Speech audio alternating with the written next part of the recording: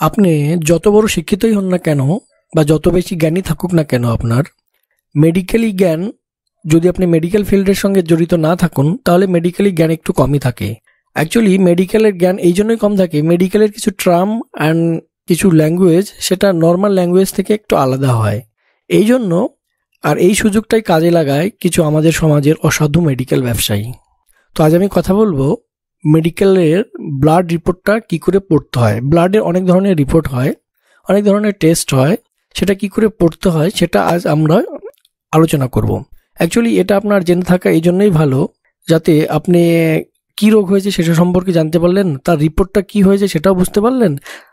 তার ফলে আপনাকে কিছু অসাধু ব্যবসায়ীর হাত থেকেও আপনি বাঁচতে পারবেন। অসাধু ব্যবসায়ীর হাত থেকে যেরকম বাঁচতে পারলেন ব্লাড রিপোর্ট একটা করলেন, তারপরেও যদি আপনাকে বলা হয় যে রিপোর্টটা ভালো আসেনি, এটা আপনি অন্য জায়গা থেকে করতে হবে। অ্যাকচুয়ালি কিছু ক্ষেত্রে এ ধরনেরই হয়, যেখান থেকে আপনাকে ব্লাড টেস্ট করতে হবে, সেটাও আপনাকে বলে দেবে এবং কোন সেন্টার থেকে করতে হবে, সেটাও বলে দেবে। তো ক্ষেত্রে কিছু বিজনেসের জন্য ওরা যে টেস্টগুলো করতে হবে, সেগুলো ছাড়াও কিছু এক্সট্রা টেস্ট দিয়ে দেয়, যেগুলোর কোনো প্রয়োজনই নেই। আজকে যদিও আমি আলোচনা করব না যে কোন রোগে কোন টেস্ট করতে হয়, সেটা আমি অন্য কোনো ভিডিওতে আলোচনা করে দেবো। আজকে শুধু এটুকুই আলোচনা করব যে মেডিকেলের যে ব্লাড টেস্টটা হয়, সেই রিপোর্টটা আপনাকে কীভাবে পড়তে হবে বা কীভাবে দেখতে হবে, তার দেখার অ্যাকচুয়ালি কি নিয়ম আছে। তো ভিডিওটা কোনো রকম স্কিপ না করে পুরোটাই দেখতে থাকুন আর আমাদের এই চ্যানেলটা আপনি সাবস্ক্রাইব করে রাখুন। আমাদের এই চ্যানেলের প্রত্যেকটা ভিডিও হয়তো আপনার কাজে লাগবে না, কিন্তু কোনো না কোনো ভিডিও আপনার কাজে লাগবেই। ব্লাড রিপোর্ট কি করে পড়তে হয়, সেটা জানার আগে আপনাকে শুরুতেই জানতে হবে ব্লাড রিপোর্টে ইউনিট কি কি ইউজ করা হয়। তো শুরুতেই কিছু বহুল ব্যবহৃত ইউনিটগুলো সম্পর্কে আমরা জেনে নিই। অনেক সময় ব্লাড রিপোর্ট দেখবেন, লেখা থাকে এমজি পার ডিএল তারপরে একটা ইউনিট হয়তো লেখা থাকবে দুশো এমজি পার ডিএল এই কথাটা লেখা থাকবে। তো এই কথাটা লেখা থাকলেই আপনি বুঝতে পারবেন যে এখানে কি হচ্ছে?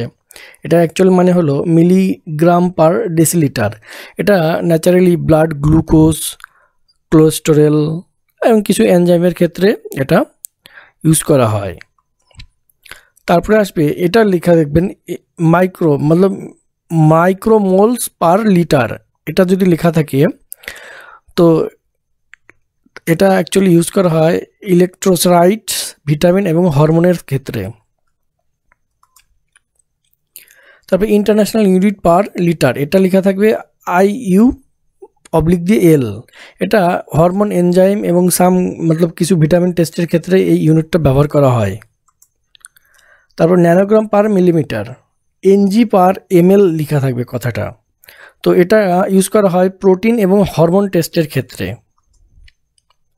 Picogram per millilitre PG per ML এই কথাটা ফুল ফর্ম হলো পিকোগ্রাম পার মিলিলিটার এটা ইউজ করা হয় হরমোন এবং টিউমার মার্কারের ক্ষেত্রে। অনেক সময় আপনারা দেখতে পাবেন এফএল লেখা থাকে। তো এফএলটার অ্যাপ্লিকেশন হলো ফ্লো সাইটোমেট্রি বা ফ্লোরোসেন্স এটা লিখা ইউজ করা হয় লিকুইড স্যাম্পেলের ক্ষেত্রে, যেমন ব্লাড এবং ইউরিনের ক্ষেত্রে ইউজ করা হয়। তবে আমরা নর্মালি যে সমস্ত টেস্টগুলো দেখি, সেটা ইএমজি পার ডিএলটাই আপনি বেশি দেখতে পারবেন। তারপরে ইউএমএলটা মতো মাইক্রোমোলস মাইক্রোমোলস পার লিটারটাও দেখা যায় আই এটাও দেখা যায়। এখন আমরা অ্যালার্জি টেস্টের একটা রিপোর্ট দেখব। দেখুন যে কোনো টেস্ট আপনার ব্লাড রিপোর্ট দেখার আগে আপনি দেখে নেবেন আপনার নাম, এসব সব কিছু বিষয়গুলো ঠিক আছে কি না নাম এই বিষয়গুলো ঠিক থাকতে হবে। তারপরে কবে স্যাম্পল কালেক্ট করেছে রিসিভ করেছে রিপোর্ট কবে হয়েছে, সব জিনিসগুলো আপনাকে লক্ষ্য রাখতে হবে। আপনার এজ জেন্ডার এগুলো খুবই গুরুত্বপূর্ণ। কারণ রিপোর্ট তো অনেক সময় জেন্ডার বা এজের অনুসারে রিপোর্টের ভ্যালু চেঞ্জ হয়ে যায় মিসম্যাচ হতে পারে, এগুলো যাতে না হয় আপনার সঙ্গে, সেজন্য আপনাকে এই জিনিসগুলো লক্ষ্য রাখতে হবে। চলুন মূল বিষয়ে পেয়ে যাই। Allergy test. এখানে অ্যালার্জি টেস্ট করা হয়েছে একটা মিল্কের, অর্থাৎ আপনার দুধ খেলে অ্যালার্জি হয় কি না সেটার টেস্টটা করা হয়েছে। দেখুন, এর রেজাল্টটা এসছে হলো জিরো পয়েন্ট ওয়ান টু আর ইউনিটটা হলো কে ইউএ পার লিটার অর্থাৎ কিলো ইউনিট পার লিটার যে এখানে যেটা দেখা আছে বায়োলজিক্যাল রেফারেন্স এই জিনিসটা হলো গুরুত্বপূর্ণ। এটা আপনার রেজাল্টের ভ্যালু এটা হলো ভ্যালু আর এটা আপনার রেফারেন্সটা অর্থাৎ পয়েন্ট থ্রি ফাইভের কম হলে আপনার মানে দুধে কোনো অ্যালার্জি নেই। সেটা ওরা বোঝাতে চেয়েছে। তো অর্থাৎ এখানে আপনার ভ্যালু আছে হলো জিরো পয়েন্ট ওয়ান টু অর্থাৎ আপনার কোনো অ্যালার্জি নেই। তারপরেও এখানে দেখুন এরা ইন্টারপ্রিটেশন দিয়ে রেখেছে, যদি এটা এর থেকে কম হয়, যদি পয়েন্ট টেনের থেকে কম হয়, তাহলে আনডিটেক্টেবল হবে আনলাইকলি হবে, তো কম হবে ভেরি লো হবে। দশ থেকে পয়েন্ট টেন থেকে পয়েন্ট ফাইভ জিরো যদি হয় ভেরি লো আনকমন এটা রেফারেন্স দিয়ে রেখেছে, অর্থাৎ এটা যে টেস্টটা সেন্টারটা করেছে, এটা একটা গুড সেন্টার মানে সমস্ত কিছু তথ্য ওরা দিয়ে রেখেছে। যদি এটা আপনার পঞ্চাশ থেকে হান্ড্রেড হতো, ভেরি হাই। অর্থাৎ আপনার অ্যালার্জি তখন আপনাকে দুধ খাওয়াই নিষেধ করে দিত। তো অ্যালার্জি একটা পিকুলার টেস্ট অ্যাকচুয়ালি এটা ইমিউন সিস্টেমের একটা ব্যাপার। অন্য সময় একটা, অ্যালার্জি নিয়ে অন্য একটা ভিডিও আমি বানিয়ে দেব। এখন আমরা যে রিপোর্টটা দেখব সেটা হলো এইচজিপিটি অর্থাৎ সিরিয়া, এর এইচজিপিটির ফুল ফর্ম হলো সিরাম গ্লুটামেট পাইরোভেট ট্রান্সমিনেসেস। এটা একটা অ্যানজাইমের টেস্ট। এই অ্যানজাইমের টেস্টটা মূলত আপনার করা হয় লিভারের টেস্ট দেখার জন্য। অর্থাৎ লিভারে কোনো প্রবলেম আছে কিনা সেটা দেখার জন্য। এটা একটা অ্যানজাইম যেটা লিভারে পাওয়া যায়। দেখুন, এটা রেজাল্ট এসছে thirty five thirty five result এসছে ইউনিট হলো ইউনিট পার লিটার বায়োলজিক্যাল যে রেফারেন্সটা দেওয়া আছে, সেটা টেন থেকে forty nine point zero zero তো এটা রিপোর্টটা নর্মাল আছে। মতলব উনপঞ্চাশের নিচে আছে তো নর্মাল আছে। তো এইভাবে আপনাকে এই এই অ্যানজামের রিপোর্টগুলো দেখতে হবে। মোটামুটি আপনাকে যেটা লক্ষ্য রাখতে হবে বায়োলজিক্যাল রেফারেন্সের উপরে। আর সেটা দেখে নেবেন আপনার একটা মেল, ফিমেল আছে কিনা। যেরকম আমি এই এনজাইমের কথাটাই বলছি, এই এনজাইমটা মেয়েদের একটু কম হওয়ায় আর ছেলেদের একটু বেশি হয়। তো এটা যদি মেল বা ফিমেল হয় তাহলে বায়োলজিক্যাল রেফারেন্সটা ওরা চেঞ্জ করে দিত। তো আশা করি বুঝতে পেরেছেন। দেখুন, এটা একটা গুড ডায়াগনস্টিক সেন্টার, সেজন্য এতগুলো ডক্টর এটাকে ভেরিফাই করবে। এখন আমরা যে টেস্টটা দেখব সেটা হলো অ্যামাইলেস টেস্ট অ্যাকচুয়ালি এই প্রত্যেকটা টেস্ট করা হয় কোনো একটা পার্টিকুলার রোগের ওপরে ডিপেন্ড করে। আপনার কি হয়েছে সেই মানে সেই বিষয়বস্তুটাকে মাথায় রেখিয়ে ডক্টর আপনাকে লিখে দেয় কোন টেস্টটা করতে হবে। হ্যাঁ আমাদের, আপনারা বলতে পারেন অনেক অসাধু ডক্টর আছে যেটা হয়তো আপনার যে টেস্টগুলো করতে হবে না, সেই টেস্টগুলো আপনাকে করতে দেয়। দেখুন, সব প্রফেশনেই কিছু সাধু অসাধু লোক আছে। আপনারা সবসময় পজিটিভ দিকটা ভেবে চলবেন। তো আপনাকে এই অ্যামাইলেস টেস্টটা অ্যাকচুয়ালি করা হয় যদি প্যানক্রিয়াসে কোনো কিছু সাসপেক্ট করে ইনফ্লামেশন সাসপেক্ট করে, তবে এই টেস্টটা করা হয়। তাছাড়া যে অ্যামাইলেস এটা একটা অ্যানজাইম তো এটা আপনার স্যালাভেরি গ্ল্যান্ডে পাওয়া যায়, যেটা আপনার মুখের মধ্যে অবস্থিত থাকে। তো এটা হরমোনাল টেস্ট আমি আগে ইউনিটটা কোন ইউনিট কোথায় ব্যবহার করা হয়, সেই ইউনিট সম্পর্কে আগেই আমি বলে দিয়েছি। ভিডিও শুরুতেই আপনি দেখতে পাবেন। যদি স্কিপ করে থাকুন প্লিজ ওটা আগে দেখে নিন। তারপরে এটার যে বায়োলজিক্যাল রেফারেন্স আছে, সেটা হলো আঠাশ থেকে হান্ড্রেড এটা ইউনিটটা হলো বত্রিশ, তার মানে এর এটা অ্যামালেসটা নর্মাল আছে। এটা কম বেশি হলে আপনার ইনফ্লামেশনটা কোথায় সেটা ডক্টর বুঝতে পারবেন। আমি নেক্সট একটা ভিডিও বানিয়ে দেবো, কোন রোগের জন্য কোন টেস্ট করা হয়? তাহলে আপনি অনেকটাই বুঝতে পারবেন যে ডক্টর বা কোনো অসাধু ব্যবসায়ী আপনার সঙ্গে চিট করছে কিনা। এথ্রোসাইড সেডিমেন্টেশন রেট অর্থাৎ ইএসআর আপনি কোনো রকম আপনার জ্বর সর্দি হলেও দেখবেন ইএসআর টেস্টটা করাই হয়। অ্যাকচুয়ালি বডিতে কোনো রকম ইনফ্লামেশন বা ইনফেকশন আছে কিনা সেটা বোঝার জন্য ইনফ্লামেশন আছে কিনা সেটা বোঝার জন্য ইএসআর টেস্টটা করা হয়। তো ইউনিটটা দেখুন একটু মজাদার। M M per H R millimetre per hour অর্থাৎ এই সেডিমেন্টটা কতক্ষণ, কত সময় সেডিমেন্টেড সেডিমেন্টেড হচ্ছে সেটা ডিপেন্ড করে। এই জন্য এখানে টাইমটা আছে আর কি। তো এর বায়োলজিক্যাল রেফারেন্স হলো জিরো থেকে পনেরো, অর্থাৎ এখানে ভ্যালু দশ আছে মানে আপনার ইএসআর লেভেলটা নর্মাল আছে। এখন আমরা যে টেস্টটা সম্পর্কে কথা বলব, সেটা একটা ডায়াবেটিক্স টেস্ট সেটা হলো H B A one C ঠিক এটা, এই টেস্টটা হলো glycosyl haemoglobin test blood actually এটা, এই টেস্টটা করা হয় গ্লুকোজ লেভেলটা দেখার জন্য, অর্থাৎ আমাদের বডিতে দু তিন মাসের যে গ্লুকোজের যে স্ট্যাটাসটা ব্লাড সুগারের যে স্ট্যাটাসটা সেটা দেখার জন্য এই টেস্টটা করা হয়। অর্থাৎ আপনি যদি নতুন ডায়াবেটিক্সে আক্রান্ত হন, তাহলে আপনার পাস্ট মানে পেছনের যে দু তিন মাসের গ্লুকোজ লেভেলটা কেমন ছিল সুগার লেভেলটা রক্তে কেমন ছিল, সেটা দেখার জন্য করা হয়। অথবা যারা ডায়াবেটিক্সে আক্রান্ত হয়ে আছেন, তাদের হয়তো ছ মাস, এক বছর অন্তর অন্তর এই টেস্টটা করে দেখা হয়, আপনার ডায়াবেটিক্সটা মনিটর রাখার জন্য। তো এই টেস্টের রেফারেন্স লেভেলটা এখানে দেওয়া আছে, দেখুন। আর ফোর পয়েন্ট ওয়ান থেকে, এটা পার্সেন্টেজ লেখা আছে, এখানে কোনো ইউনিট লেখা নেই পার্সেন্টেজ লেখা আছে ফোর মতলব এত পার্সেন্ট হবে, এখানে দেওয়া আছে চার থেকে ফাইভ পয়েন্ট সিক্স জিরোর কম হলে আপনার ডায়াবেটিক্স নেই। তো এই জিনিসগুলো আপনাকে বুঝতে হবে। তো এখন যে টেস্টটার কথা বলব, দেখুন এটা, এই রিপোর্টটা মানে অনেক সময় আপনাকে একসঙ্গে অনেকগুলো টেস্ট দিয়ে দেয়।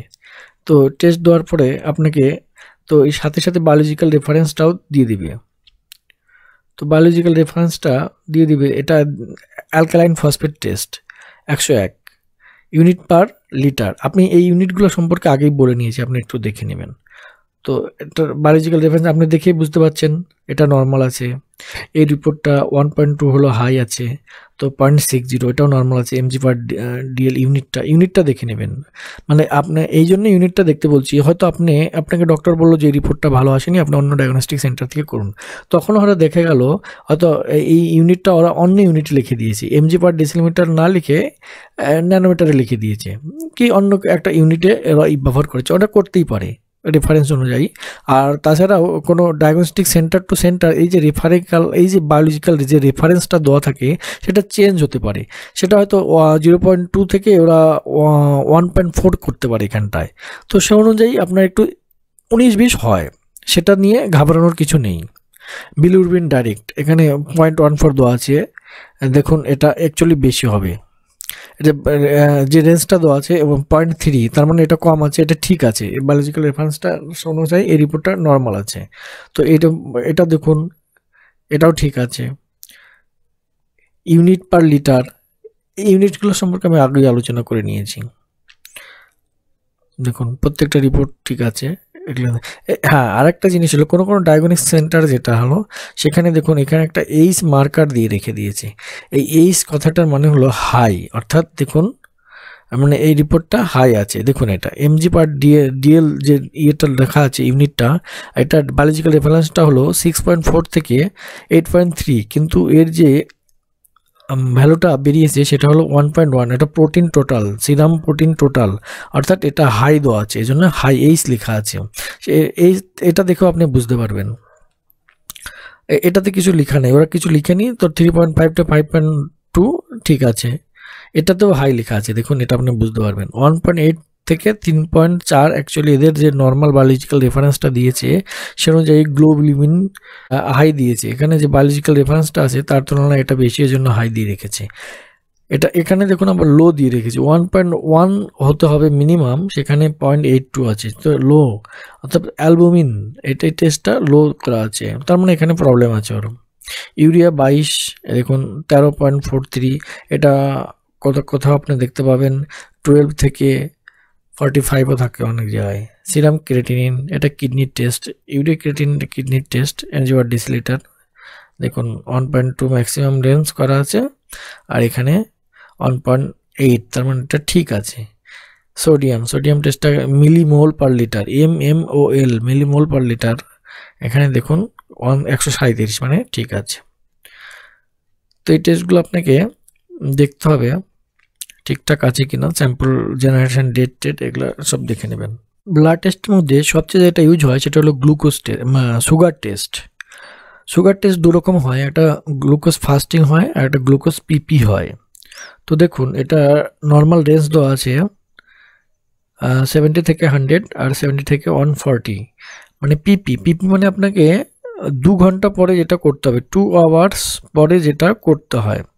অর্থাৎ আপনাকে খালি পেটে করতে হবে, আট থেকে বারো ঘণ্টা খালি পেটে থাকলেন, তারপরে যে টেস্টটা করলেন, সেটার ভ্যালু দেখুন এখানে একশো বিশ এসছে এটা স্যাম্পল তো আপনার ব্লাড সুগার ধরা পড়েছে।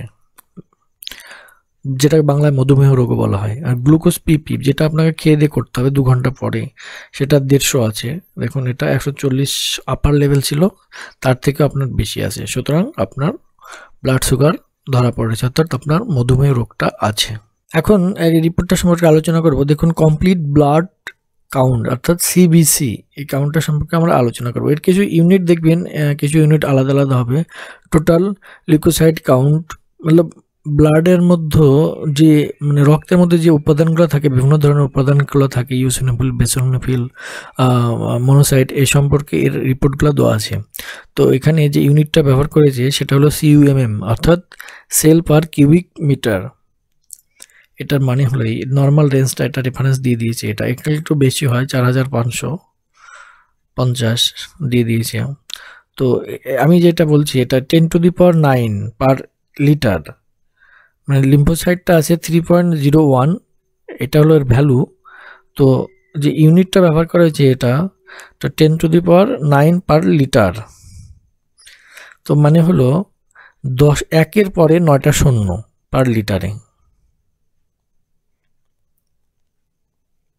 ইউনিটটা আপনাকে মাথায় রাখতে হবে। এখানে নিউট্রোফিল পার্সেন্টেজ দিয়ে বুঝিয়ে দিয়েছে।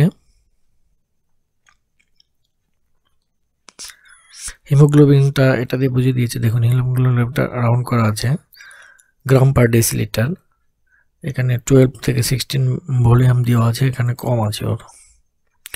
তো এখানে মার্ক করে দিয়েছে। এটা ডক্টরকে দেখানোর পরে মার্ক করে দিয়েছে। অ্যাকচুয়ালি ব্লাড রিপোর্টটা দেখা ডক্টর বা হেলথ যারা মানে হেলথ সার্ভিসের সঙ্গে যারা যুক্ত, তারাই একমাত্র ভালো বুঝতে পারবেন।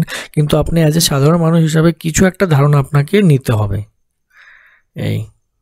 দেখুন, এই রিপোর্টটা খুব একটা উন্নত ডায়াগনস্টিক সেন্টার থেকে করা নেই।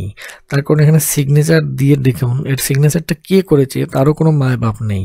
সুতরাং এই রিপোর্টটা যদি আপনি কোনো ভালো ডায়াগনস্টিক সেন্টারে চলে যান, তাহলে মানে কোনো ডাক্তারের কাছে চলে যান, তাহলে অ্যাকসেপ্ট না করার সম্ভাবনাটাই বেশি।